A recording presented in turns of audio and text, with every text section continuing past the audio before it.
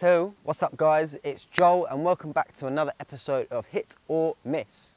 On today's schedule, we are going to a restaurant chain called Ed's Diner. For those of you that don't know what Ed's Diner is, be a good thing if I knew what it was as well. Ed's is a restaurant chain that does casual dining, shakes, breakfast, lunch and desserts.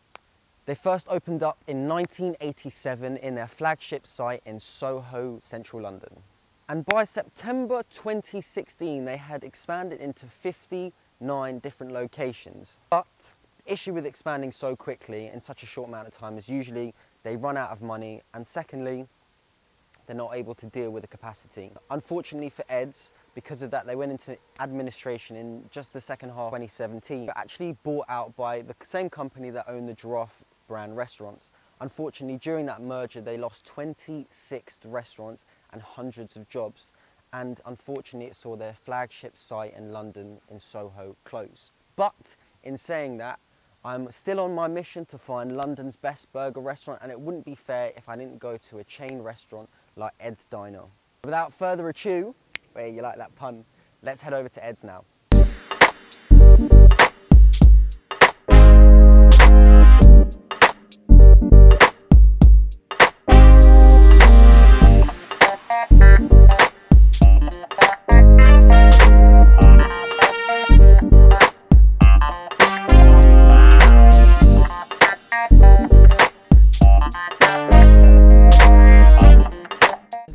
Burger that you guys have here. Is it? Can I get the uh, the Big Ed? Let's get the the double. And uh, can I get the mud pie as well, please? A double Big Ed. And we also got the mud pie shake, and they're renowned for their shakes here. So I'm looking forward to that. Really nice vibe in here. It's very quiet at the moment because it's like just before lunchtime. Tried to get in here early.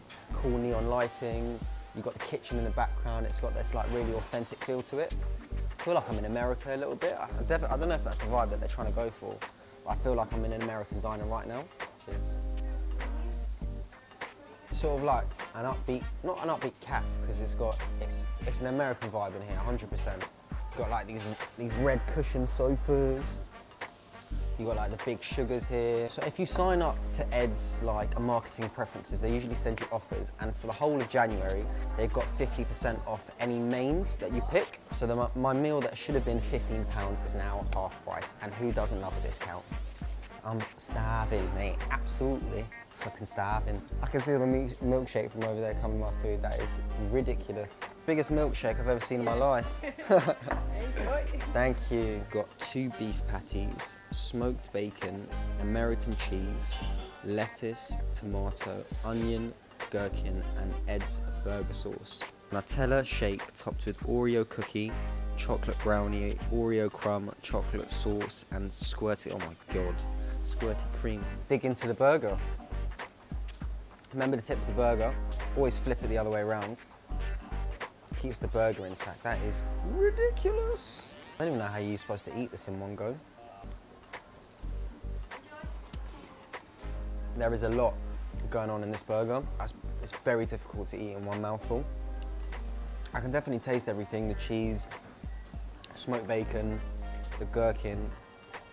You know there's just like too much stuff in one burger?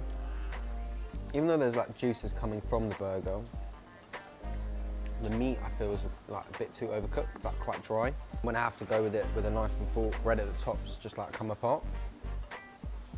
The meat, if I'm honest, is very, very chewy. Even though there's like juices coming out of the burger, there's like no actual moisture in the um, moist. So it just, it tastes like a very dry burger. I've never eaten a burger with a knife and fork before. It's our first for me. Let's move on to the milkshake before it goes everywhere. Oh, about to lose an Oreo. Humongous. Oh, that brownie is proper tasty. Milkshake's banging. And it's huge. Definitely a two-person type of milkshake, not one. Right, there's a lot going on in that milkshake. Very tasty, very milky, very chocolatey, like rich chocolate flavour. Oreo, brownie, Nutella. Milkshake's bang bang. The question is, would I hit this place up again or would I miss it?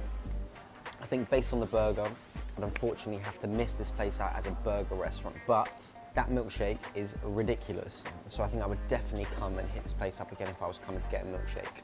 I hope you guys enjoyed the video. Make sure you like for the YouTube algorithm. You also subscribe and like and follow me on Instagram and Twitter to stay updated with all of the food reviews. This is just another step in my burger journey. On the next one.